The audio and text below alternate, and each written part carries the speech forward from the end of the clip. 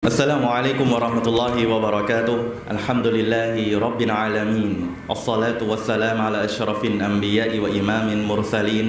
حبيبنا محمد بن عبد الله وعلى آله وصحبه أجمعين ما بعد ยินดีต้อนรับนะครับพี่น้องเข้าสู่การบรรยายที่มุมฮาลาน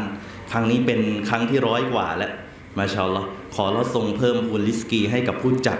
และขอให้มั่นคงในหลักการศาสนาจนกระทั่งวาระสุดท้าย นะครับ ขอดุอาให้เราเนี่ยมีสุขภาพร่างกายแข็งแรงและอยู่บนเตาฮีดและซุนนะของท่านนบีจนวาระสุดท้ายนะ หลายคนโดนบททดสอบ พี่น้องครับ รู้ไหมว่าหลายคนโดนบททดสอบ อายุเยอะแล้วเพี้ยนมีไหมมี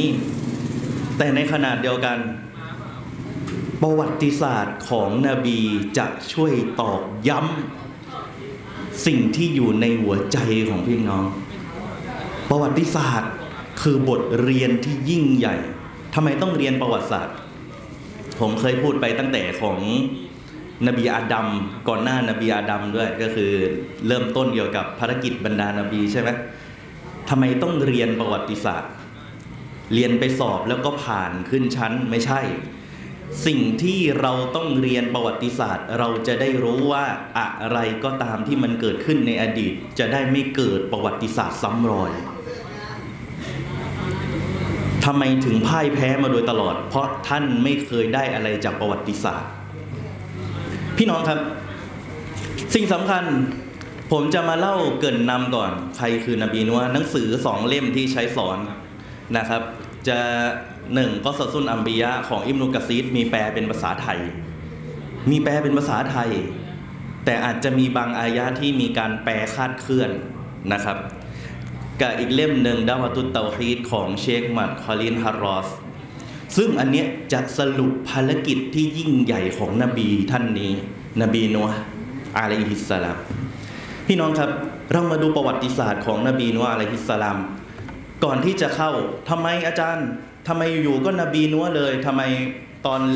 ฟังأناشيد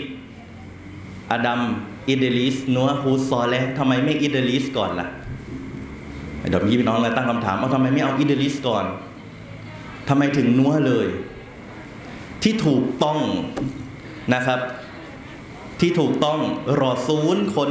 แรกจริง ๆ เลยนะ ตามตัวบทจากอันกุรอาน คือนบีนัวอะลัยฮิสสลามถ้าท่านถือว่าท่านนบีอิดริสเป็นรอซูลด้วย และเอามาขึ้นก่อนหน้านบีนัวแปลว่า ใครมาก่อน อิดริส จะไปค้านกับตัวบทที่อยู่ในอันกุรอาน ดังนั้นเนี่ยจึงต้องเอานาบีนัวขึ้นก่อน พี่น้องครับ เรามาดูเรื่องราวของนบีนัวผมพยายามจะสรุปให้พี่น้องแบบง่ายๆเลย พี่น้องจะได้เอาไปปรับใช้ก่อนที่ผมจะขยี้อีกหนังสืออีกเล่มหนึ่งในระยะเวลาหนึ่งชั่วโมงอินชาอัลลอฮ์นบีนัวเนี่ยคือเขาคือใคร คือนัวอิมนูและมิก อิมนุมีโตชิงนะครับ อันนี้จะชื่อยากหน่อย เพราะว่าไม่ได้ออกอาหรับเท่าไหร่ ตามประวัติศาสตร์ของชาวคัมภีร์นะชาวคัมภีร์ก็คือศาสนาคริสเตียน ศาสนายูดายอ่าเขาบอกว่าระหว่างนบีนัวกับท่านนบีอาดัมเท่าไหร่รู้ไหมกี่ร้อยปี กี่ร้อยปี ใครรู้บ้าง หนึ่งร้อยหกเอ้หนึ่งร้อยสี่สิบหกปี อันนี้ตามจากพันธสัญญาเก่า อันนี้พันธสัญญาเก่านะ แต่ของเราไม่ได้ไปอ้างอิงจากพันธสัญญาเก่า เราอ้างอิงจากอะไร จากอันกุรอานและซุนนะในฮะดิษของท่านนาบีที่บันทึกโดยซอเฮียบุคอรีเนี่ยนบีนัวกับท่านนาบีอาดัมมีอายุห่างกันหนึ่งพันปี ลว่านาบีอาดัมถูกส่งลงมา อยู่ดนบนดุนยาเนี่ย จนกระทั่งยังถึงนบีนัวเนี่ยระยะห่างหนึ่งพันปี แต่เกิดอะไรขึ้นครับในสมัยนั้นทำไมนบีนัวเนี่ยโอ้โหอายุห่างกับนบีอาดัมเนี่ยหนึ่งพันปี ในยุคนั้นเนี่ยมีแต่เตาฮีดท่านอิบนุอับบาสท่านได้รายงาน ท่านอิบนุอับบอกว่า ระหว่างท่านนบีอาดัมกับนบีนัวเนี่ยอัชรอตะกุรุนหนึ่งพันปี พวกเขากุลลุฮุมอะลัตเตาฮีดทุกคนอยู่บนเตาฮีดอยู่บนอิสลามแบบบริสุทธิ์ร้อยเปอร์เซ็นต์หนึ่งพันปี เยอะไหมเยอะ แต่เกิดอะไรขึ้น แต่ผู้คนในสมัยนบีนัวเนี่ยเขาเองเนี่ยมีการเคารพสักการะผู้คน สักการะรูปปั้น เริ่มจาก นี่แหละพอยสำคัญ ฟิตนะที่เกิดขึ้นในนบีนัวไปสักการะต่อคนดีๆ บ้านเราก็โต๊ะวาลีแหละ แต่นี่ยิ่งกว่าวาลีแล้ว เขาบอกว่าไง ทุกอย่างที่เกิดขึ้นนะครับ ทุกอย่างที่เกิดขึ้นไม่ว่าจะเป็นชื่อวัดสุวะ ยากูสยาอุดและนัสทั้งหมดนี้เขาคิดว่าเป็นชื่อเหล่าเทพ แต่จริงๆ แล้วมันคือชื่อคนดีๆ ในยุคนั้น ฟิตนะแรกที่สร้างสร้าง فتنة ที่ยิ่งใหญ่ فتنة ที่ยิ่งใหญ่ที่ถูกกล่าวในอันกุรอานนะที่บอกว่าฟิตอันวันฟิตนะตุอาชัดโดมินันกอตที่บอกว่าฟิตนะเนี่ยร้ายแรงยิ่งกว่าการฆ่าคนเสียอีก فتنة อะไรนักวิชาการอธิบาย فتنة แรก ที่สร้างความรุนแรงยิ่งกว่าการฆ่าคนตาย คือชิริก การตั้งภาคี บุคคลเหล่านี้นะครับอัลลอฮ์ได้บอกว่าคนในยุคนบีนัวบอกว่าไงรู้ไหมพวกเขาจะกล่าวว่าพวกเจ้าทั้งหลาย จงอย่าทิ้งเทพเจ้าของพวกเจ้า อย่าทิ้งวัด อย่าทิ้งสัวยาอุยาอุวานัสรอนะครับ โดยที่ทั้งหมดนี้เป็นชื่อของคนดีในสมัยนั้น แต่ที่มีบันทึกเลยท่านอิมนุอับบาสบอก เมื่อคนดีๆอะสมมุติสมมุตินบีนตาย สมมุตินะ เป็นคนดีโอ้โหมีแต่คนชาวบ้านรักทั้งหมด ชัยตอนเนี่ยมันมา มันมากระซิบ มันมาบอกมันมาโดนใจบอกว่าเสียดายเหลือเกินคนนี้เป็นคนดีๆ และเขาตายไปแล้ว เราอยากจะจำหน้าของเขาเอาไว้ งั้นทำรูปปั้นขึ้นมาทำอนุสร์ขึ้นมา เป็นรูปโครงหน้าเป็นรูปคนเลยนั่งในที่ที่เขาเคยนั่ง นี่แหละดูนะ ไปสร้างอนุสร์ของคนตายขึ้นมา บ้านเรามีไหมบ้านเรามีไหมดูตามประวัติศาสตร์ ผมแค่ไปบางจังหวัดเนี่ยเขามี เป็นรูปปั้นของวีรบุรุษ เป็นรูปปั้นวีรบุรุษ แต่ไม่รู้ยังไงมีของมาเส้นเต็มเลย นี่แหละฟิตนะมันเริ่มเข้ามาจากการยกคนดี และเวลาเขาตายไปแล้วเนี่ยคนในยุคต่อมาไปสร้างเป็นรูปปั้น ตอนแรกก็ยังไม่เคารพบูชาหรอก ยังไม่เคารพบูชา แต่เกิดอะไรขึ้น ลูกหลานน่ะ เห็นว่าเออพ่อแม่เนี่ยชอบพามาเยี่ยมบ่อยๆ สงสัยคนนี้จะเป็นคนดีคนที่แบบเราให้เกียรติเกิดอะไรขึ้นรู้ไหมพ่อแม่ตาย อีกรุ่นลูกรุ่นหลาน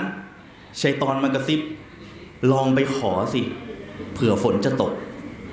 เริ่มปุ๊บฝนตกไปขอนะไปขอตอนรูปวีรบุรุษอะรูปคนดีๆ ในอดีต โตโตวาลีอะไรพวกเนี้ย ฝนตกมาสามเม็ด บางรายงานนะบอกขอปุ๊บฝนตกหยดใส่ตัวเองสามเม็ดหรือมากกว่านั้นน่ะเขาบอกเฮ้ยคนนี้ขังอะเริ่มแล้วใจมันเริ่มไปแล้วว่า เออ ที่ฉันไปขอเนี่ย แล้วเขาให้ได้จริง ๆ ฝนตกมานิดเดียวก็ตามเฮ้ยแปลว่าของจริง เท่านั้นแหละเขาเลยเริ่มเชื่อชัยตอนให้เห็นไงและหลังจากนั้นเกิดอะไรขึ้นครับพี่น้อง บุคคลเหล่านี้ก็เริ่มค่อย ๆ ไปเคารพบูชาไปเวียนขอ เพราะอะไรไปขอแล้วมันได้ เหมือนบ้านเราอะสิ่งศักดิ์สิทธิ์สายมูสายอะไรกับอะไรเยอะแยะไปหมดใช่ไหมและไปขอบางคนได้ แต่ส่วนใหญ่ไม่ได้ตามที่ขอ แต่เวลาคนได้ ก็ไปโฆษณาเลย เอาสมมติขอหนึ่งร้อยคนได้แค่คนเดียว เอาไอ้คนได้อะไปโปรโมท ว่าโอ้ยได้อย่างงู้นอย่างนี้ แต่อีก 99อะไม่ได้ แต่คนน่ะมันเชื่อใคร เชื่อไอ้คนที่ได้ ฟิตนะมันเลยกระจาย กระจายทั่วทุกมุมในในยุคของท่านนาบีนุอะลัยฮิสสลาม ดังนั้นคนดีๆ จึงกลายเป็นจุดเริ่มต้นของฟิตนะในยุคนั้นเลยที่แม้เขาตายไปแล้วนะ ปัจจุบันน่ะถ้าผมไปผมมาจบอียิปต์ ท่านท่านไปในกรุงไคโรจะมีกูโบของของใคร ของอิหม่ามชฟีอีอิหม่ามชฟีอีตาย เป็นผู้รู้ชาวซุนนะเลย แต่เวลาเขาตายเขาไม่ได้ให้ใครมากราบไหว้ แต่รู้ไหมโดยฟิตนะด้วยกับการเป็นคนดี และมีคนไปขอและได้เชยตอนหลอก กลายเป็นว่ากูโบนั้นน่ะ คนน่ะไปขอดูอา นอกเหนือจากพระองค์อัลลอฮ์ไปขอเป็นสื่อกลาง บอกอิหม่ามชาฟีอีขอดูอาให้ฉันหน่อย ตอบขอไปบอกอัลลอฮ์ให้หน่อย เป็นสื่อกลางให้หน่อยนาอุซุบิลละนี่คือจุดเริ่มต้นแห่งฟิตนะ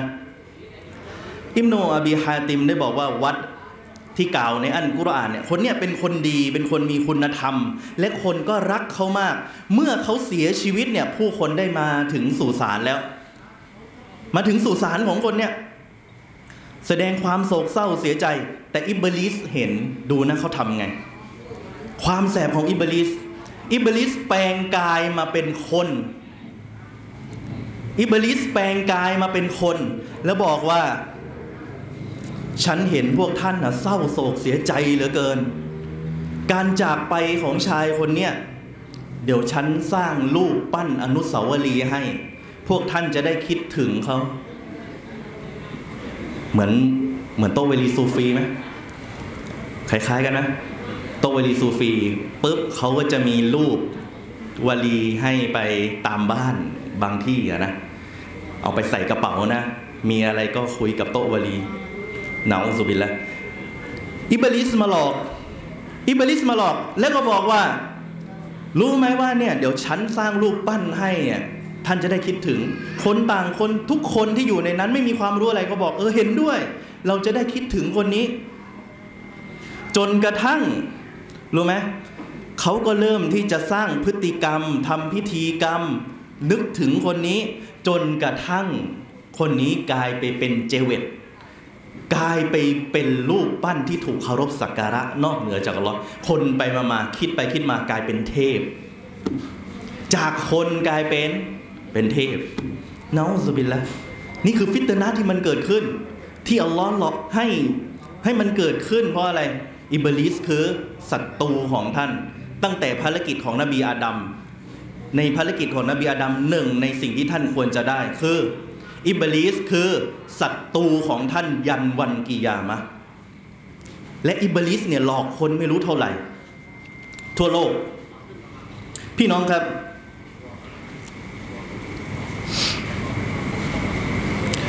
ในสภาพดังกล่าวเนี่ยเหตุการณ์เกิดขึ้น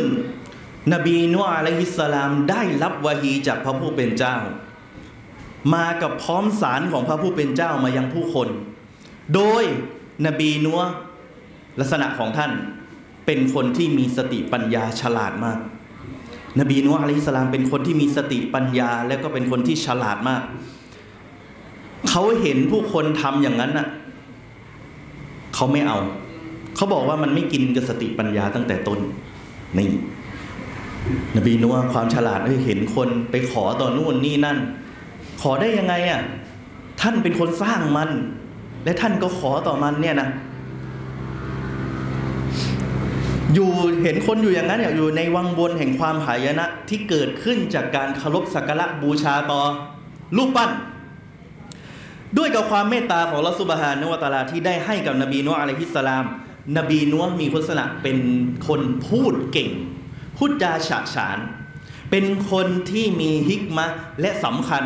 นบีนัวเป็นคนที่มีความอดทนที่สุด ดังนั้นจึงได้ถูกรับเลือกเป็นอุลุนอัสมีมีห้าคนใครบ้างอะอุลุนอัสมีมีใครบ้าง นบีนัวนบีบรอฮีม นบีมูซา นบีอีซานบีมุฮัมมัดสลลัลลอฮุอะลัยฮิวะสัลลัมทั้งห้าท่านเป็นอูลุนอัสมีทำไมถึงได้รับฉายานี้ เพราะบุคคลเหล่านี้เจอบททดสอบ รุนแรงที่สุด แล้วสูงที่สุดคือท่านนาบีมูฮัมมัดสุลลัลลอฮุอะลัยฮิวะสัลลัม ดังนั้นท่านนาบีนูอะลัยฮิสสลามได้ชี้คือตอบโต้ กลุ่มบุคคลเหล่านี้ที่เชื่อว่าไอ้รูปปั้นที่เขาขอเนี่ยมันจะให้อิทธิฤทธิ์ให้นู่นให้นี่ให้นั่นกับเขาเนี่ยบอกมันไม่อินกับสติปัญญา แล้วท่านได้ดูนะ นบีนัวได้พิสูจน์พระเจ้าแปลว่าการพิสูจน์พระเจ้าเนี่ยอยู่ในยุคนบีนัวเลย นบีนัวได้พิสูจน์พระเจ้าว่าทุกอย่างที่มันเกิดขึ้นเรื่องฝน เรื่องฟ้า เรื่องเมฆเรื่องทะเล ทุกอย่างดวงอาทิตย์เรื่องความร้อนความอยากหนาวความเย็น ทุกอย่างมาจากพระผู้เป็นเจ้า เป็นไปไม่ได้ว่ารูปปั้นเหล่านี้จะเป็นคนให้ นี่นบีนัวพิสูจน์ด้วยกับการใช้สติปัญญา เป็นข้อๆเลยครับ และก็ชี้ว่าทั้งแผ่นดินและพื้นพิภพเนี่ยทั้งหมดเป็นของใคร ต้องมีผู้สร้าง เป็นไปไม่ได้รูปปั้นเหล่านี้ที่คุณไปสร้าง มันจะมีอิทธิฤทธิ์เทียบเท่าพระผู้เป็นเจ้าเป็นไปไม่ได้ ไปเชื่อมันเป็นเทพได้ยังไง หลังจากนั้นท่านนบีนุอาอะลัยฮิสสลามได้อธิบายให้ผู้คนไปว่า เป็นไปไม่ได้ว่าพระเจ้าที่ถูกคารพสักการะจะมีมากกว่าหนึ่งองค์ เป็นไปได้ไหมพระเจ้าจะมีมากกว่าหนึ่งองค์ เป็นไปไม่ได้ ถ้ามีมากกว่าหนึ่งองค์ มันก็จะตีกัน สร้างความวิบัติเกิดขึ้นในสังคม นักวิชาการบางท่านเขายกเหมือนคนปกครองเมืองอะในอดีตอะที่มีอาณาจักร มีจักรพรรดิมีเป็นกษัตริย์ ตรงนี้ปกครองตรงนี้ไอ้นี่ปกครองตรงนู้นตรงนู้นตีกันในหน้าประวัติศาสตร์ เยอะแยะมากมาย เหมือนกันครับ ใครก็ตามที่เป็นคนใหญ่คนโตเขาก็จะ จะต้องหาอำนาจด้วยกับการขยายอำนาจ พี่น้องครับ หลังจากที่นบีนูอาลัยฮิสสลามเนี่ยพยายามให้อดทนเนี่ยนะออกจากความเลวร้ายของพวกชัยตอนที่มายุให้เขาเนี่ยออกจากหลักการศาสนา แต่เกิดอะไรขึ้นรู้ไหมนบีนูอาลัยฮิสสลามเนี่ยพูดกับผู้คน พูดกับผู้คนแต่ คำพูดที่ไปกินใจผู้คนน่ะไปกินใจกับคนยากจน ไปกินใจกับคนลากย่าไปกินใจกับคนอ่อนแอ มีแต่คนอ่อนแอมาฟัง คนใหญ่คนโต ไม่ฟัง และมันเกิดอะไรขึ้นรู้ไหมครับ แต่คนที่ร่ำรวย คนที่แข็งแกร่งมีอำนาจบรรดาผู้ปกครอง เหล่านี้ไม่รับฟังคำตักตักเตือนของนบีนัวพอยสำคัญฟังเลย เพราะคนที่ร่ำรวยเขาเคารพบูชาเขายิ่งมีเงินมีนู่นนี่นั่น เพราะเขายิ่งขอเขายิ่งได้นู่นนี่นั่น จนกระทั่ง นบีนัวเนี่ยไปคนที่ขอคนที่ยากจนและไม่ได้ตามที่รูปปั้นที่จะให้อะนะไปขอแล้วรูปปั้นให้ไม่ได้ แต่คนร่ำรวยไปขอแล้วมันได้ ก็ เลยไปกินใจกับคนยากจน เพราะว่าอะไร ไปขอแล้วเอ้ยเป็นไปไม่ได้เริ่ม กินกับสติปัญญาแล้วว่า ฉันไปขอกี่ทีกี่ทีมันก็ให้ไม่ได้ บางคนเข้ารับอิสลามด้วยไหมพี่น้อง มีคนมาเล่าให้ผมฟัง เขาบอกว่าเขารับอิสลามมาได้ประมาณสองปี เขาขอต่อสิ่งศักดิ์สิทธิ์ทุกอย่าง สายมูขอต่อสิ่งศักดิ์สิทธิ์ทุกอย่าง ขอต่อสารนั้นตรงนี้ตรงโน้นตรงนั้น ไม่เคยได้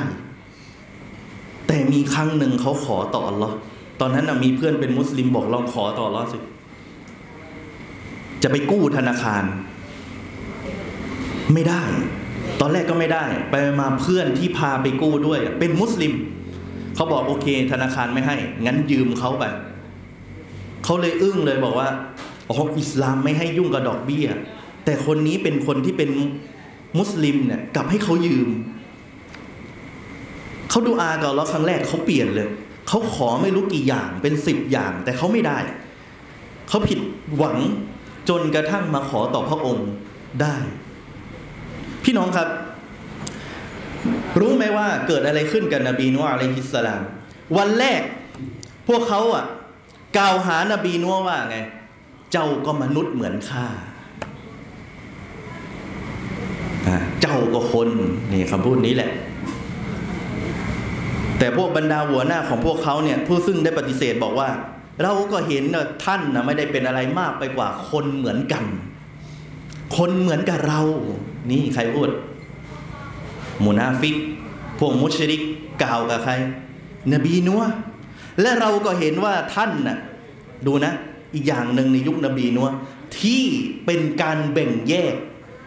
ชนชั้นวันนะในยุคนั้น แบ่งระหว่างคนรวยและคนยากจน พวกนี้บอกว่าไงพวกมุชริกบอกว่า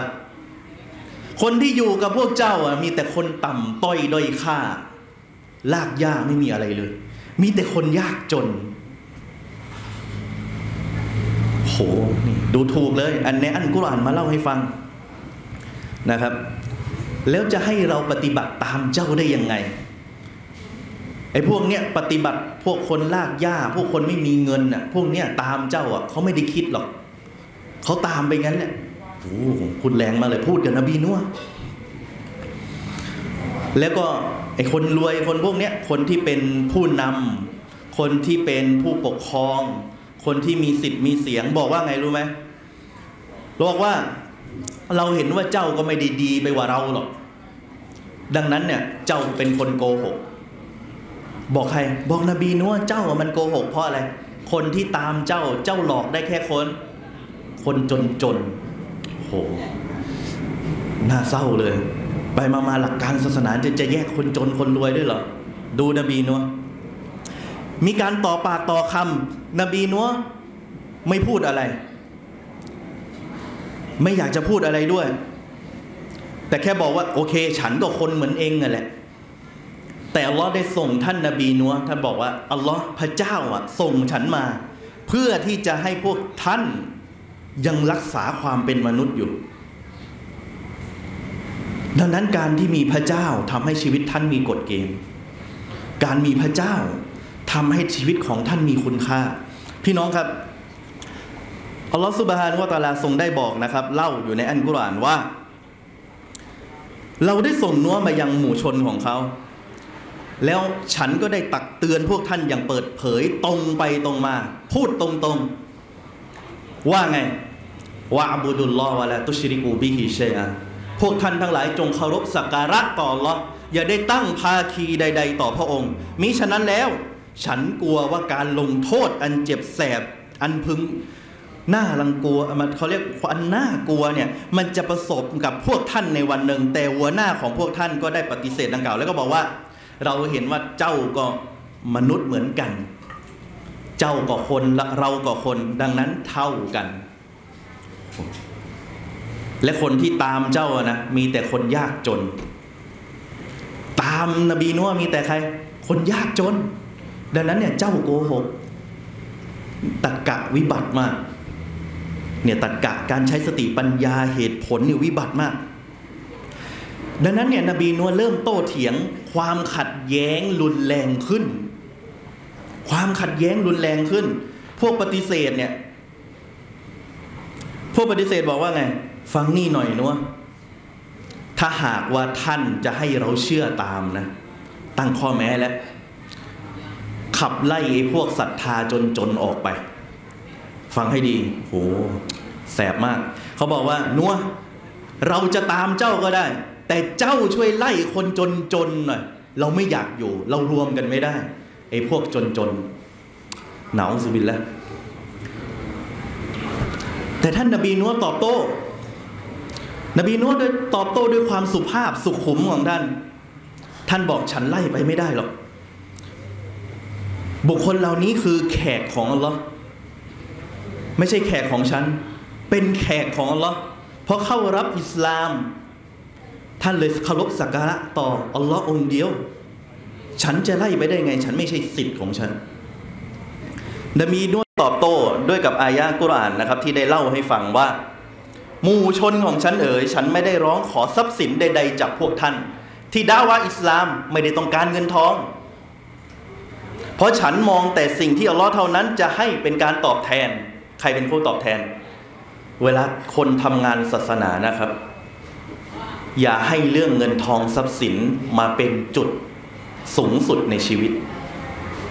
และมันจะทำให้ท่านไม่มั่นคงในหลักการแต่ท่านเกิดเงินทองสุดท้ายวันหนึ่ง ท่านอาจจะเปลี่ยนจุดยืนเพื่อเงินทองก็ได้ จริงไม่จริง จริง แล้วก็หลังจากนั้นเนี่ยนบีนัวได้ตอบโต้ข้อขัดแย้งกับพวกปฏิเสธศรัทธาว่าเนี่ย ฉันไม่ยอมไล่คนจนเหล่านี้ไปหรอก พวกหัวหน้าของคนที่ปฏิเสธ หัวหน้าของคนที่ปฏิเสธศรัทธาตอนนั้นน่ะ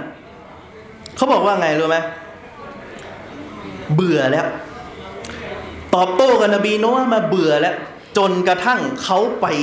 ทำไง ไปดิสเครดิตให้กับคนที่อยู่ในลูกหลานโอ้มีทุกยุคทุกสมัยครับ คนนี้เห็นเผยแผ่แนวทางซุนนะ เริ่มมีคน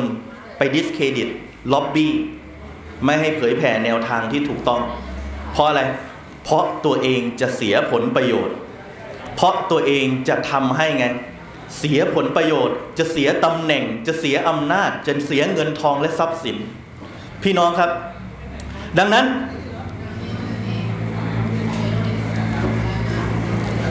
คนพวกนี้บอกว่าไงเถียงเบื่อแล้ว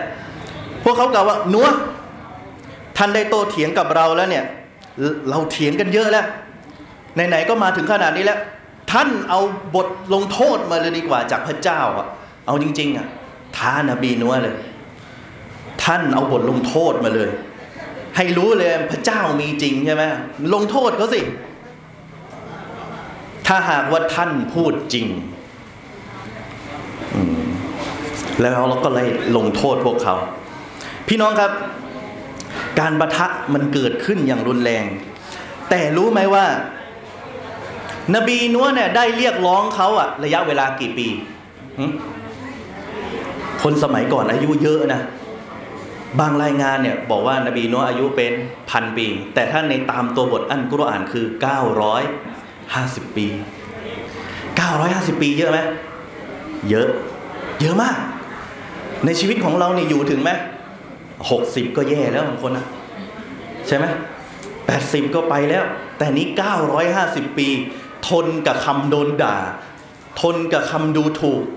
ทนกับคำเหยียดหยามทำทุกวิธีการดาวว่าตั้งแต่เช้ายันเย็นไม่ใช่แค่ชั่วโมงเดียวนะครับไม่ใช่บรรยายชั่วโมงเดียวโดนด่าแล้วก็ไม่บรรยายแล้วไม่ใช่ เขาบรรยายเขาต่อสู้ทั้งชีวิต 950 ปีทุกวิธีการ พิสูจน์พระเจ้าบอกพระเจ้ามีจริง โต้ตอบโต้ พิสูจน์ด้วยกับหลักฐานตัวบท พวกเขาไม่เชื่อ เพราะเชื่อแล้วมันเสียผลประโยชน์ คนถ้ามันมีอีโก้ มันมีอีโก้ จะไม่ฟังหรอกครับ แต่ถ้าคนสลายอีโก้ พังทลายกำแพงแห่งความอคติตั้งแต่ต้นกำแพงที่คิดว่าตัวเองเหนือกว่าคนอื่น อาจจะรับฟังในสิ่งที่เป็นคุณธรรมความจริง พี่น้องครับ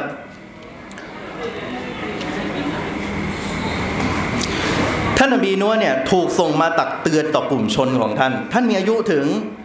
950 ปี อยู่กับพวกเขาเนี่ย950 ปี แต่ดูการดิสเครดิตและล็อบบี้ของบุคคลเหล่านี้ เขาทำไงรู้ไหมไอ้กลุ่มนี้เขาไม่ชอบนบีนัว ปู่สอนลูก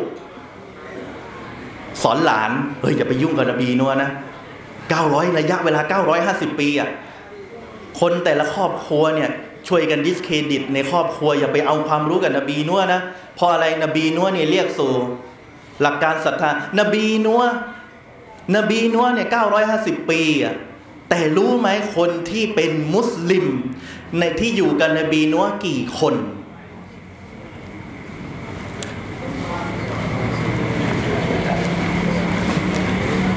พี่น้องครับ เดี๋ยวจะเฉลยให้ฟังว่ามีกี่คน ที่อยู่กับนบีนัวที่ศรัทธากับนบีนัวกี่คน ในชีวิตของท่านน่ะน่าเศร้าเลยถ้าเป็นคนในยุคเราเนี่ยเฮ้ย950 ปีได้แค่นี้เหรอแต่นั่นคือความสำเร็จที่เราให้กับท่านแล้ว พี่น้องครับ ตามบัญญัติเนี่ยจากอันกุรอาน อัลลอฮ์ได้ให้นบีนัวได้สร้างเรือ หลังจากที่ต่อสู้มาเนี่ย จนกระทั่งไม่มีใครฟังนบีนัวแล้วอะบอกว่าไอ้นี่มันบ้าไอ้นี่มันโกหกคำด่าทอสารพัดสารเพทุกอย่าง แต่เกิดอะไรขึ้น ดังนั้นน่ะนบีนัวได้เริ่มสร้างเรือข่าวใดก็ตามที่บรรดาหัวหน้าของพวกเขาได้ผ่านมาอัลลอฮ์สั่งให้สร้างเรือนะ ให้อยู่ในภายการทอดพระเนตรของอัลลอฮ์การสร้างเรือเกี่ยวกับซิฟัตของอัลลอฮ์ด้วยอย่างหนึ่งอะไรรู้ไหมนะให้นบีนัวสร้างเรืออยู่ภายใต้พระเนตรของอัลลอฮ์ว่าอัลลอฮ์มีตา และก็เกิดอะไรขึ้นเมื่อคนที่ไม่ใช่มุสลิมมุชริกในยุคนั้นเดินผ่านมา เขาไปสร้างไกลจาก ทะเลอะไปสร้างในป่าในเขา คนเดินมาเห็นนบีนัวกำลังสร้างเรือ สร้างไม่ใช่สร้างบนบกอะสมมติสร้างตรงเนี้ยที่เขาทำนาเนี่ยห่างไกลจากทะเล พี่น้องคิดว่าไง คนที่เดินผ่านมาไอ้นี่มันบ้าเปล่า จะเอาเรือลงยังไงเนี่ย มันอยู่ตรงนี้หนองจอก สมมุติ ห่างกับทะเล ห่างจากแสนแสบ ห่างจากตรงนู้นตรงนี้ห่างจากอ่าวจะไปลงทะเลไหน ไปลงอะไรลงคลองแสนแสบใช่ไหมหรือไงหาสร้างตรงเนี้ยแต่คนที่เดินมา หัวเราะเยาะเย้ยกับนบีนูอะลัยฮิสสลาม บอกว่าท่านเนี่ยเปลี่ยนอาชีพแล้วเหรอจากนบีเป็นคนสร้างเรือ ดูถูกนะความดูถูกนบีนัว950 ปี โดนด่า โดนดูถูก โดนเครียดแค้น มีแต่คนจนๆที่เชื่อ นบีนัวก็บอกว่าสวรรค์หนึ่งท่านจะได้รับการลงโทษที่เจ็บแสบและอัปยศพี่น้องครับ เมื่อนบีนัวสร้างเรือเสร็จ นบีนัวก็นั่งรอคำบัญชาของอัลลอฮ์หลังจากนั้นไม่นานเนี่ยอัลลอฮ์ให้ตาน้ำตาน้ำก็คือ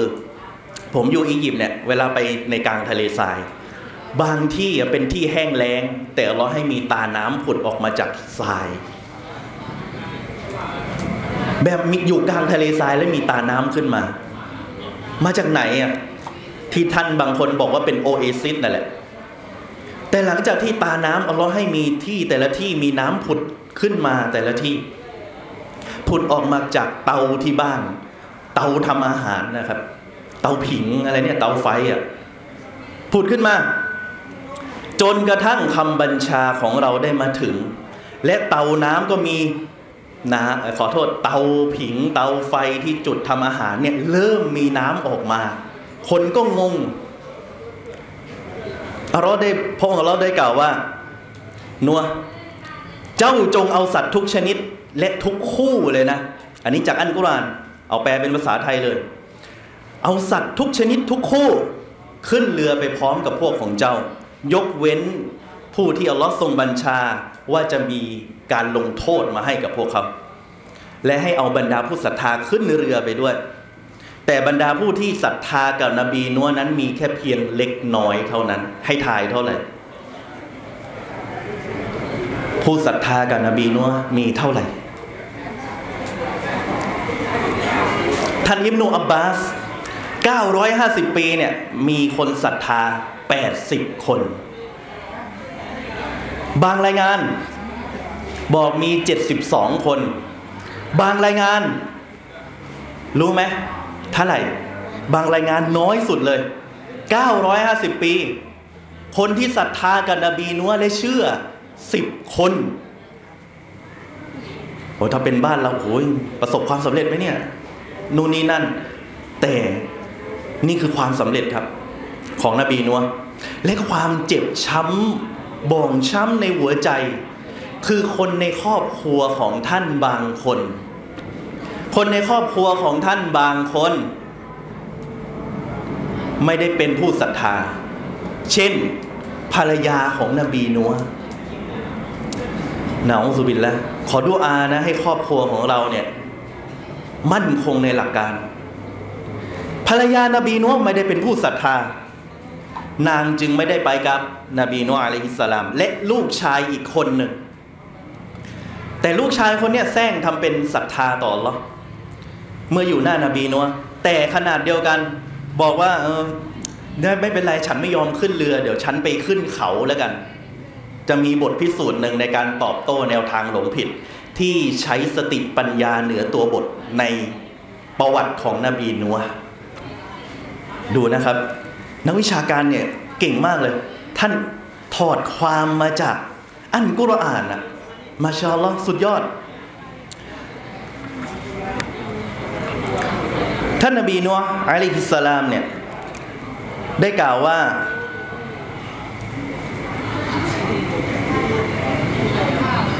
นบีนัวเนี่ยนะครับได้กล่าวไว้นะครับว่าจงขึ้นมาบนเรือด้วยกับพระนามของอัลลอฮ์ ไม่ว่าจะแล่นหรือจอดก็ตามแท้จริงพระผู้อภิบาลของฉัน เป็นผู้ทรงอภัยและทรงเมตตาขนาดที่เรือของนบีนัวเนี่ยตาน้ำเนี่ยมันผุดขึ้นมาเรียบร้อย ฝนเนี่ยมันตกแล้วก็เป็นไง ไม่หยุดเลย บ้านเราเนี่ยเวลาตกหนักเนี่ยบางที่ท่วมนะ แต่ของนบีนัวนี่ไม่หยุดเลยอะวันสองวันสามวัน น้ำผุดออกมา ในขนาดเดียวกันฝนก็ตกออกมาเป็นอาทิตย์ ตามทัศนะที่ถูกต้องนักวิชาการได้ตับซีร จากอายะอันกุรอาน น้ำท่วมทั้งโลกคำตอบน้ำท่วมทั้งโลก ยกเว้นผู้ที่อัลลอฮ์ทรงเมตตา นักวิชาการอธิบายว่ามีบางฮะดิษรายงานว่ามีคนหนึ่งที่ไม่โดนอัลลอฮ์ให้ ให้น้ำไม่ท่วมบ้านเขาบ้านเดียว ที่เหลือโดนทั้งโลกวะลอฮุอาลัมต้องไปดูในตัวบทสายรายงานฮะดิษพี่น้องครับ แต่นบีนัวเนี่ยพูดบอกว่าไงรู้ไหมได้เรียกลูกชายของเขา ลูกเอ๋ยจงขึ้นมาบนเรือลำนี้ และอย่าได้อยู่ร่วมกับคนที่ปฏิเสธศรัทธา แต่ลูกชายก็บอกว่าไงรู้ไหมฉันจะปีนขึ้นไปบนภูเขา ไปบนยอดเขาสูงสุดเลย ดูทำไมถึงบอกว่าน้ำท่วมโลก ปีนไปบนยอดเขาสูงสุด จะท้ายทำให้ฉันพ้นจากน้ำจากอายะอันกุรอานนะครับ จริง ๆ อยู่ในสุลฮุดอะนบีนัวจึงกล่าวว่า วันนี้ไม่มีสิ่งใดจะคุ้มครองป้องกันใครให้พ้นจากการลงโทษของอัลลอฮ์ได้ เว้นแต่ผู้ที่อัลลอฮ์ทรงเมตตาเท่านั้น สุดท้ายครับ คลื่นได้ซัดลูกชายนบีนัวต่อหน้าต่อตาตาย นักวิชาการได้อิสติมบาตจากอายะอันกุรอานอายะนี้ว่า ว่าไงรู้ไหมพี่น้องอิสติมบาตจากอายะอันกุรอานว่า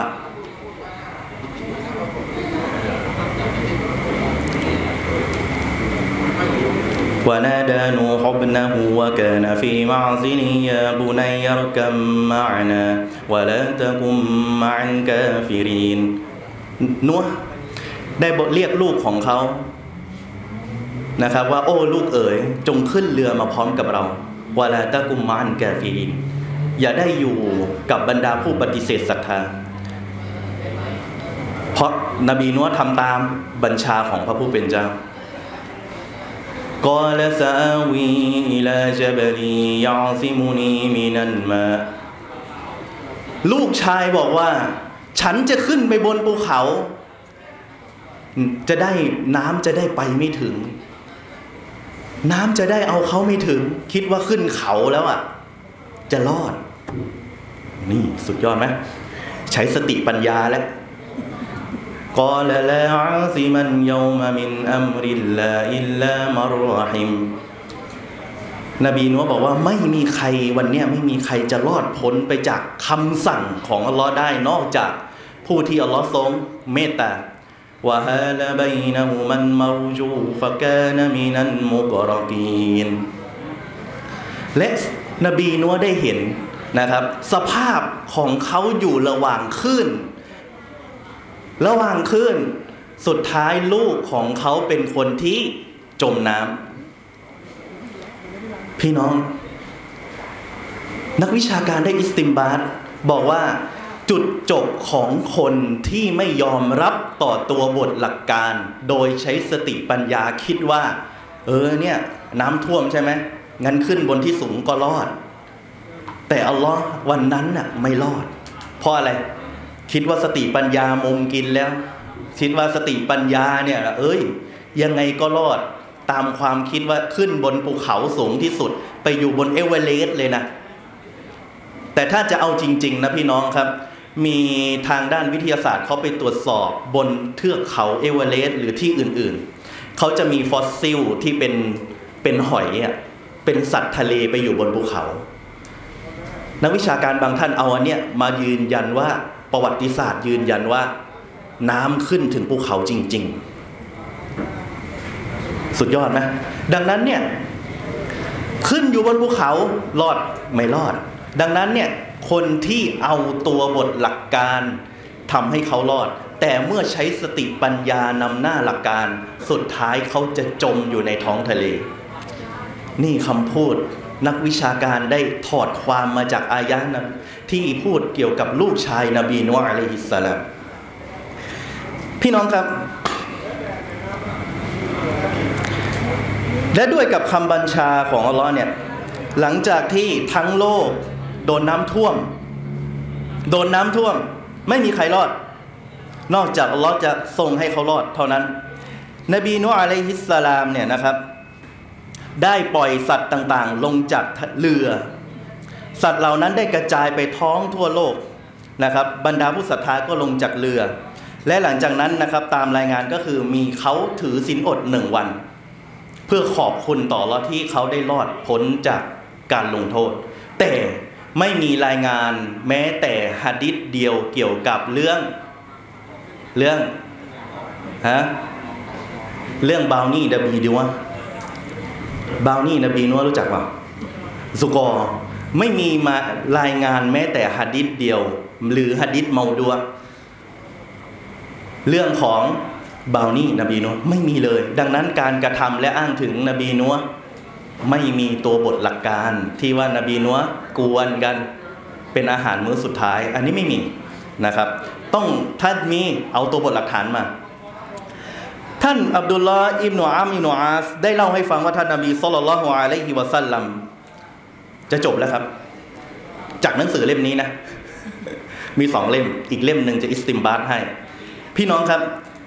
ท่านอับดุลลาอิบนุอามอิบนุอาสได้เล่าว่าท่านนบีสุลต่านละฮ์อะลัยฮิวะสัลลัมเล่าให้ฟัง เมื่อนบีนัวใกล้จะเสียชีวิตหะดิษนี้บันทึกอยู่ในซอเฮียบุคอรี นบีนัวใกล้จะเสียชีวิต เขาได้เตือนบรรดาลูกชายของเขาว่าไงรู้ไหมฉันได้ให้คำแนะนำที่เป็นประโยชน์กับเจ้าคำสั่งเสียที่เป็นประโยชน์กับเจ้า ขอสั่งให้เจ้าทำสิ่งสองสิ่ง และเตือนเจ้าในสองสิ่งนี้ด้วย ฉันขอให้เจ้าเชื่อว่าไม่มีพระเจ้าอื่นใดที่ถูกเคารพสักการะ นอกจากอัลลอฮ์องเดียวเท่านั้น และเชื่อว่าชั้นฟ้าทั้งเจ็ดแผ่นดินทั้งเจ็ด จะถูกมาวางอยู่บนตาช่างอันหนึ่งและคำว่าลาอิลาฮะอิลลัลลอฮ์ว่าไม่มีพระเจ้าอื่นใดที่ถูกเคารพสักการะวิงวอนขอพร โดยมีสิทธิ์อย่างเที่ยงแท้นอกจากอัลลอฮ์องเดียวเนี่ยมาวางอีกตาช่างหนึ่งอันหนึ่งพื้นพิภพท้องฟ้าอีกอันหนึ่งคำว่าลาอิลาฮะอิลลัลลอฮ์นบีนัวสอนลูก แต่สิ่งหลังเนี่ยจะหนักกว่าสิ่งแรก หมายความว่าลาอิลาฮะอิลลัลลอฮ์จะหนักกว่า สิ่งแรก นั่นคือคำสั่งเสียของท่านนบีนูอะลัยฮิสลามกับลูกๆ และฉันขอเตือนพวกเจ้า อย่าได้เอาสิ่งใดมาเป็นหุ้นส่วนมาเป็นภาคีต่อลอและฉันขอเตือนพวกเจ้า อย่าได้ทำตัวโอหังยโส นี่คือคำพูดของท่านนาบีนูอะลัยฮิสลามที่ท่านนาบีมุฮัมมัดสุลลัลฮุอะลัยฮิวะสัลลัมได้เล่าให้ฟังอยู่ในซอฮีบุคอรี พี่น้องครับ แต่ในกอสอดอัมบียาของท่านอิมนุกะซีฟท่านบอกต่อว่า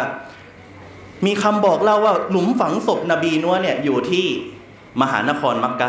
มัสยิดฮารอม อันนี้ไม่ได้ร้อยเปอร์เซ็นต์นะ ไม่ได้บอกว่าจะถูกนะ แต่ในขนาดเดียวกันบางรายงานอยู่ที่เมืองบาลาบัก เมืองหนึ่งในประเทศอิรักว่าล้อว่าลำว่าท่านเสียที่ไหน แต่ว่านี่นักวิชาการเขามารายงานเฉยๆนะครับ ทีนี้ ถึงอีกเล่มหนึ่งจบเล่มที่หนึ่งแบบสรุป พี่น้องครับ ท่านนาบีนุอะลัยฮิสลามจากการอธิบายของเชคอัลลามะมูฮัมหมัดคอลินฮารรอสนะครับนักวิชาการซาลาฟีที่ตาบัตตัวจากแนวทางอาชัยรอท่านบอกว่าไงรู้ไหม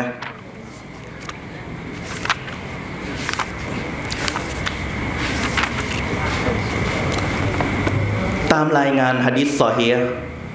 ที่มุตตะฟกุนอะลัยฮีบันทึกอยู่ในบุคอรีและมุสลิม นบีนัวคือรอซูลท่านแรก นบีท่านแรกคือนบี นบีอะไรนบีอาดัมมาชาลอรอซูลท่านแรกคือนบีนัวคนที่เอาสารมาเผยแพร่ แต่มีคนตั้งคำถาม นบีนัวมีคัมภีไหมเอามีรอซูลต้องมีคัมภีสิ ไม่มีรายงานจากตัวบทอันกุรอานหรือฮะดิษเลย แม้แต่ฮะดิษเดียวที่ว่านบีนัวมีคัมภีร์ อุซูลหนึ่งของชาวอาลิสุนนะเราจะยืนยันตามตัวบทที่มีในอันกุรอานและสุนนะเท่านั้น เมื่อมันไม่มีเราบอกได้ไหม เราบอกไม่ได้ ดังนั้นต้องยุติที่ตัวบท เราไม่รู้ มีหรือเปล่า แต่แน่นอนครับไม่ได้ถูกกล่าวไว้ ดังนั้นต้องจบ ทีนี้พี่น้องครับ ประวัติของนบีนูอะลัยฮิสลามอยู่ในหลายสุราะอยู่ในสุราะอัลอารอฟสุราะยูนุสสุราะฮุดมุมินูนชูอาระและชื่ออยู่สุราะหนึ่งเลย ชื่อสุราะห์นัวพี่น้องไปอ่านได้ และท่านจะรู้ว่านบีนัวโดนทดสอบอะไรบ้างด่าว่าเรียกร้องอะเช้าเย็น เช้าเย็นกลางคืนทั้งวัน ทั้ง เรียกมาคุยส่วนตัว ทั้งเป่าประกาศ ยิ่งเรียกร้องคนยิ่งหนี 950 ปีอะได้แค่ 80 คน หลายคนอาจจะท้อ เดี๋ยวอิสติมบาจากอัลลามะมูฮัมหมัดคอลินฮารอสท่านจะเล่าให้ฟัง จากอันกุรอานรับบีอินนีดาวตุกามีไลลาวะนะฮารอโอ้พระผู้อภิบาลของฉัน แท้จริงฉันเรียกร้องกลุ่มชนของฉัน ทั้งเวลากลางคืนและเวลากลางวันฟะลัมยะซิดฮุมดุอาอีอิลลาฟิรารอการเรียกร้องของฉันไม่ได้เพิ่มอะไรให้พวกเขาเลยนกยกเว้นเขาจะยิ่งหนีออกไป ยิ่งเรียกร้องเขายิ่งหาย وإني كلما دعوتهم لتغفر لهم جعلوا أصابعهم في آذانهم واستغشوا ثيابهم وأصروا واستكبروا استكبارا ทุกครั้งที่ฉันเรียกร้องพวกเขา ให้พระองค์เพื่อพี่พระองค์จะได้ให้อภัยกับพวกเขา ตอนที่ยิ่งเรียกร้องพวกนี้ทำไง เอานิ้วอุดหูครับ เจอนบีนัวเอานิ้วอุดหู วัสักเชลเซียบะฮุมเอาผ้าขึ้นมาปิดหน้าไม่อยากเห็นนบีนัวเดินผ่านไปเลยวาซอรูวัสตักบารุสติกบารอกลายเป็นว่าบุคคลเหล่านี้เริ่ม เริ่มยโสโอหังหยิ่งไม่อยากจะรับสัจธรรมและความจริงอีโคสูงซุมมาอินนีดองตุมจิฮารอ หลังจากนั้นฉันก็เรียกร้องพวกเขาแบบเปิดเผย ซุมมาอินนีอาลันตุละฮุมวาสรัตุลหุมอิสรารอหลังจากที่ฉันได้เรียกร้องประกาศให้กับพวกเขาแบบเปิดเผย ฉันก็ทำแบบลับๆให้กับพวกเขาอีก ทั้งลับๆทั้งเปิดเผยทำทุกวิธีการทำทุกอย่าง อัลละมะซาลาฟี เชคมูฮัมหมัดอามัดอันอาดวี ได้กล่าวในหนังสือดาวตุรุสุนอิลลอท่านบอกว่าท่านสังเกตในนี่แหละครับ สิ่งที่อิสติมบาจากอุลามาท่านสังเกตในประวัติของนบีนัวได้เลย สิ่งสำคัญที่ท่านจะต้องได้จากนบีนัวคือความอดทนต่อการเผยแผ่ศาสนา โดนต่อต้านไหมร้อยครั้งเนี่ย เอาเอาแค่ของมุมฮาลานเนี่ย มีคนต่อต้านไหมมี มีคนเห็นด้วยไหมมี แต่ความอดทนถึงได้มาเป็นร้อยครั้ง แต่นบีนัวเนี่ยเก้าร้อยห้าสิบปี สุดยอดนะนะครับ และอัลลอฮ์ได้สั่งใช้นะครับ ให้นบีนัวเนี่ยอยู่อย่างนั้นน่ะ950 ปีเนี่ยเผยแผ่ศาสนาเนี่ยแต่คนเข้าแค่แป๊บนิดเดียวเองอะ950 ปีได้ 80 คนอย่างเงี้ยอัลลอฮ์ได้ให้สร้างเรือขึ้นมาอยู่ภายใต้สายตาของพระองค์นะครับ และก็รู้ไหมครับ จุดประสงค์ของสุรนบีนัวภารกิจจริง ๆ ของท่านนบีนัวที่ถูกกล่าว นั่นคือเมาดัวอัตเตาฮีดเรื่องเตาฮีดดังนั้นใครก็ตามอยากจะทำภารกิจนบี ถ้าเห็นเขาเผยแผ่ศาสนา เรียกร้องสู่การเมือง เรียกร้องสู่การรวมกัน ไว้ก่อนเพื่อจุดประสงค์ทางการเมือง นั่นไม่ใช่เรียกร้องแบบนบี นบีตั้งแต่อดีตจนกระทั่งถึงท่านนบีมุฮัมมัดสุลลัลฮุอะลัยฮิวะสัลลัมอุดมการมีอุกอุดมการเดียว คืออัตเตาฮีดใครก็ตามที่เรียกร้องที่ไม่ใช่อัตเตาฮีดนั่นคืออุดมการที่ผิด และไม่ได้อยู่บนแนวทางที่นบีได้วางแบบอย่างเอาไว้ บรรดารอซูลทำทุกอย่างเพื่อเตาฮีดดังนั้นเราจะได้สรุปจากข้อมูลของท่านนาบีนัวอะลัยฮิสสลาม ดังต่อไปนี้ทั้งหมด ข้อที่หนึ่ง เชคฮัตรอสสรุปให้ฟัง ท่านบอกว่าอันดับแรกที่นบีนัวเริ่มให้กับกลุ่มชนของเขาคือเตาฮีดุลลอให้เอกภาพต่อลอสุบฮานวาตาลาคนตั้งภาคีต่อละอันดับแรกไม่ได้แก้ที่การเมือง ไม่ได้แก้ที่เงินทอง ไม่ได้แก้แก้ที่ปากท้องของคน แต่แก้ที่เราจะต้องกลับไปหาพระผู้เป็นเจ้า ดังที่พระองค์อับสุบฮานะนะฮูวะตาลาได้กล่าวว่าแล้วก็เดอัลซันนานูฮันอิลากอมิฮิฟะกาลยากอมิอับุดุลลอฮะมาละกุมมินอิลาฮินกอยรุเราได้ส่งนัวมาให้กลุ่มชนของพวกเขานัวได้กล่าว โอ้กลุ่มชนของข้า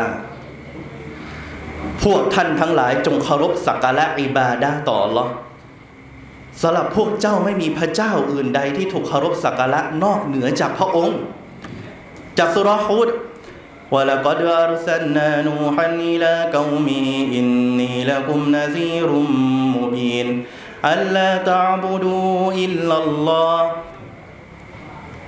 และแน่นอนเราได้ส่งนบีนัวมายังกลุ่มชนของเขา นบีนัวบอกว่าข้าคือผู้ตักเตือน ที่ชัดแจ้ง เจ้าทั้งหลายอย่าได้เคารพสักการะบูชานอกเหนืออื่นใดนอกจากพระองค์อัลลอฮ์เท่านั้นวามินเกาลิฮิฟีซูรตินนุมุมินูน ولقد أرسلنا نوحا إلى قومه فقال يا قوم اعبدوا الله ما لكم من إله غيره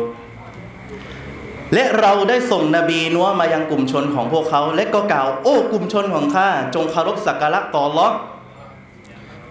มาละกุมมินอิลาฮินกอยรุไม่มีพระเจ้าอื่นใดที่ถูกเคารพสักการะนอกเหนือจากพระองค์ และเราจะเห็นดังกล่าวนี้จากบรรดานบีทุกคนฮูดซอเลห์ชูอิบอิบรอฮีมและอื่นๆ ดังนั้นأصول ของนบีทุกคนเรียกร้องสู่ التوحيدประการที่สองเชคฮารอสบอกว่า นบีนัวดำเนินการด่าว่าของท่านเรียกร้องอะนะในการด่าว่าของท่านโดยไม่เบื่อเลย ไม่ขาดตอนเลยทำทุกวันทำทุกวัน สอนทุกวันต่อสู้ทุกวัน ไม่เบื่อ ดังนั้นคนที่เป็นนักเผยแผ่ศาสนา อย่าเบื่อกับการสอนคนนี่สิ่งที่ท่านกำลังสอนข้อที่สองและสาม ในอันกุรอานบอกว่าคนที่มาค้านกับนบีด้วยในบททดสอบที่ท่านในการด่าว่าเนี่ยศัตรูของท่านก็คือมาละก็คืออัสซาดะวันอัชรอฟ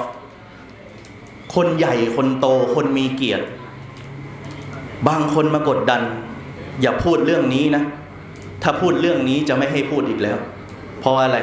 เดี๋ยวเสียมวลชน พูดแล้วเป็นไง ไม่ได้ สุดท้ายครับเป็นไง ต้องขายศาสนาเพื่อที่จะจะพูดนะอุสุบินละนี่คือสิ่งต่อมา ประการต่อมา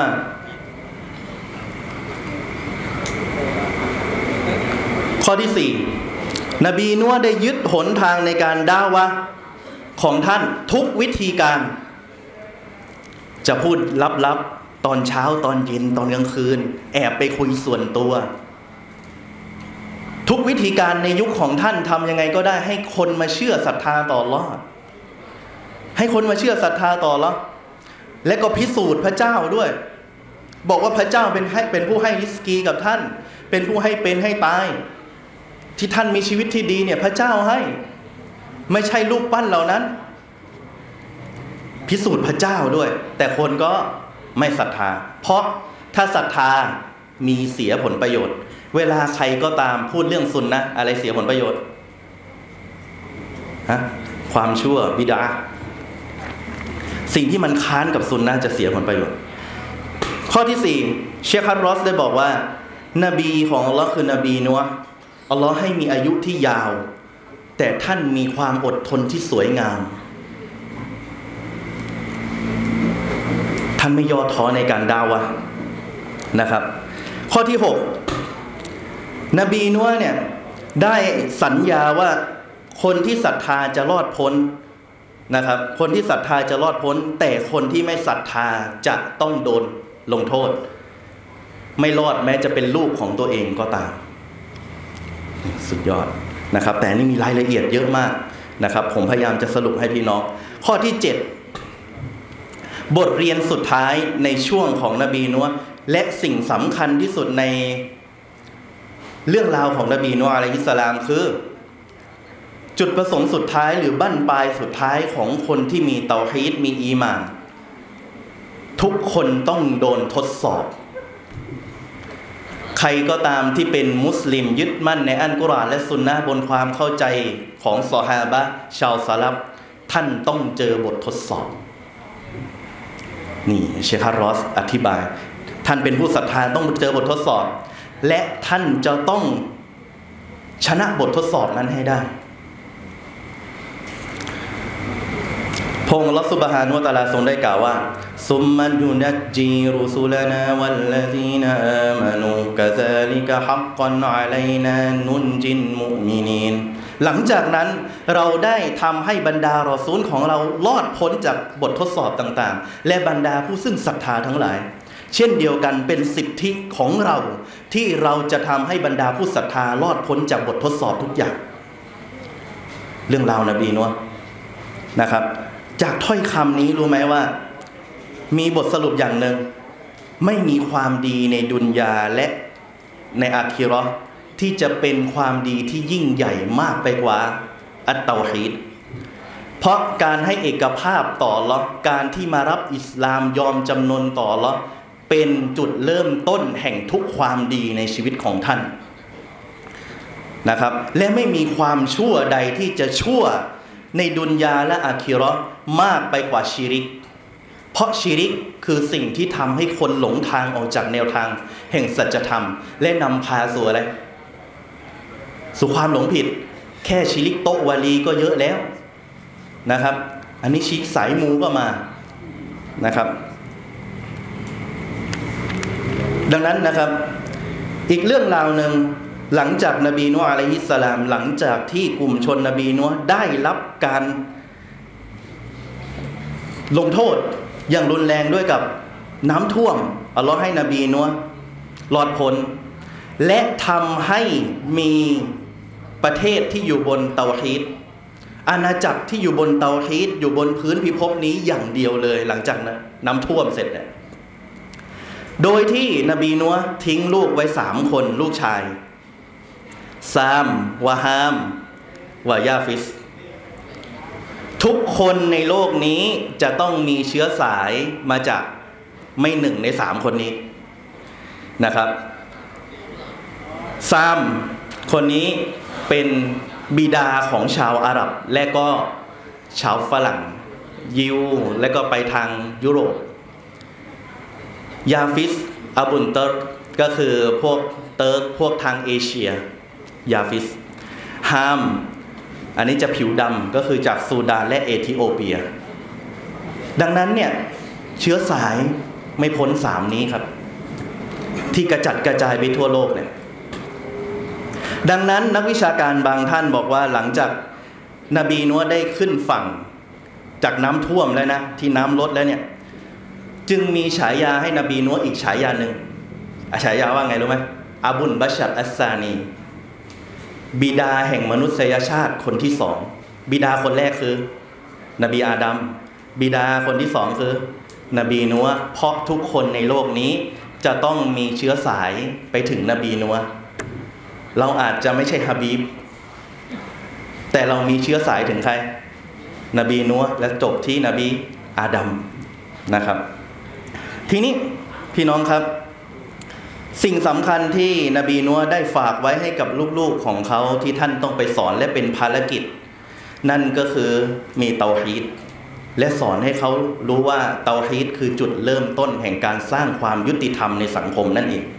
นะครับ ก็ประมาณเท่านี้แล้วกันนะครับยาซักมุลลอฮุคอยรอน คนต่อไปนะครับที่เป็นนบีที่จะมาพูดก็คือนบีฮูดอินชาอัลลอฮ์ ดังนั้นเนี่ยจากของเชคฮารอฟทั้งหมด 7 ข้อ 7 ข้อบทสรุปของนบีนูอาอะลัยฮิสสลาม จากประวัติศาสตร์ของท่าน ภารกิจของท่านคือเตาฮีดใครก็ตามเรียกร้องอื่นนอกจากอัตเตาฮีดเป็นไง หลงทาง พี่น้องครับ เมื่อกี้จากมีคนฝากคำถามมานะผมขออนุญาต ตอบสักเล็กน้อย คำถามที่หนึ่งเหตุที่ทำให้หลงในยุคนบีนัวเนี่ยคืออะไร คนไปเริ่มบูชาคนดีๆ คนดีๆตาย คนสร้างรูปปั้นเจเวตเหมือนวีรบุรุษบ้านเรา สร้างคนนี้เป็นวีรบุรุษเสร็จปุ๊บมีเครื่องเส้นไปแล้วไม่รู้กี่อย่างไปดูได้ เหมือนกันชีริกแรกสองน้ำท่วมโลกทุกพื้นที่ตาม تفسير ที่มีมา นะครับนักวิชาการอธิบายสามคัมภีร์นบีนัวไม่มีรายงานแม้แต่ฮะดีษเดียวว่ามีคัมภีร์ชื่ออะไร ดังนั้นจึงไม่มีการบอกว่านบีนัวมีคำพีก็วัลลอฮุอาลามุบิสซอบะบิสซาวะยาซากุมุลลอฮุคอยรอนผมคงให้อาจารย์ท่านต่อไปต่อเลยนะครับ เดี๋ยวไว้เจอกันคราวหน้าวะซัลลัลลอฮุอะลานบีนามุฮัมมัดวะอะลาอาลีฮิวะซอฮบิฮิอัจมาอีนอัสสลามุอะลัยกุมวะเราะห์มะตุลลอฮิวะบะเราะกาตุฮ์